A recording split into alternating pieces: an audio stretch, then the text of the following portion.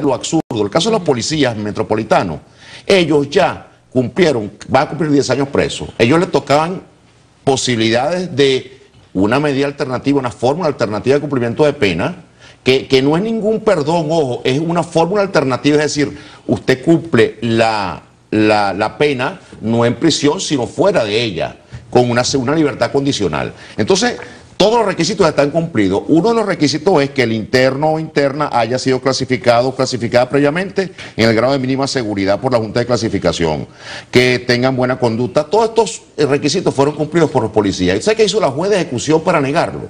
En la carátula, escúcheme esto, en la carátula donde viene el, informe psicosocial, hay una parte, un renglón que dice el establecimiento penal donde está recluido, de qué categoría de seguridad es mínima seguridad, máxima seguridad o media seguridad. Como en, y entonces Ramos Verde es considerado media seguridad.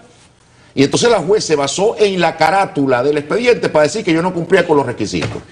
Y cuando usted ve el informe interno, usted dice, estos señores cumplen con todos los requisitos. Entonces, esa juez de, de ejecución de Maracay, que se llama Hadas Armas, me acuerdo porque tiene doble A, o sea, es insólito y todavía tenemos una apelación que tiene seis meses en curso y todavía está en la Corte de Apelaciones esperando. O sea, eso es lo que uno dice, bueno, si no son presos políticos, si no quieren llamarlos así, ¿por qué en estos casos en particular se presentan esta cantidad de aberraciones jurídicas?